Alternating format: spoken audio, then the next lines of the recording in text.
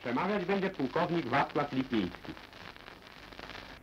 W dzisiejszym komunikacie po raz pierwszy mówi się o odcinku wschodnim.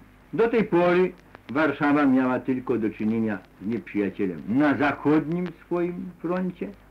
Od dzisiaj mamy front wschodni. Zapowiadałem to już wczoraj.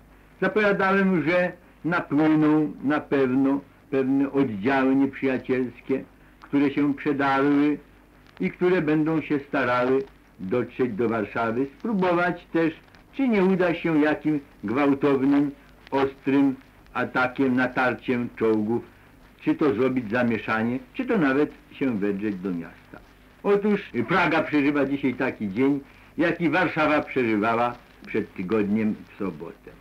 Fortyfikują się wszystkie ulice, ludność, wojsko i ludność jest gotowa do odparcia natarcia nieprzyjacielskiego.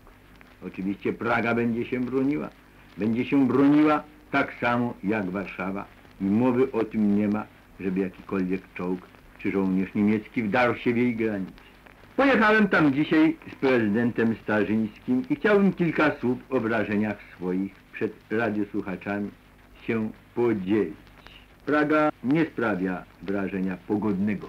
Można powiedzieć, że w porównaniu do Warszawy dość mocno nawet ucierpiała. Dużo zgliszcz, dużo domów rozwalonych. No, wojna. Zapłacą nam za to. Odbudujemy tę Pragę piękniejszą, bogatszą za ich pieniądze. Mówiłem wczoraj o pogodzie. Życzyłem niskiego pułapu, niskich chmur. Mieliśmy pogodę znowuż cudowną, bardzo czyste niebo, ale nie mieliśmy lotników.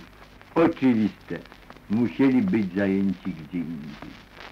Wszystkie znaki na ziemi i niebie przemawiają za tym, że musieli być zajęci bardzo daleko od nas. Całkiem nawet nie w tej części Europy.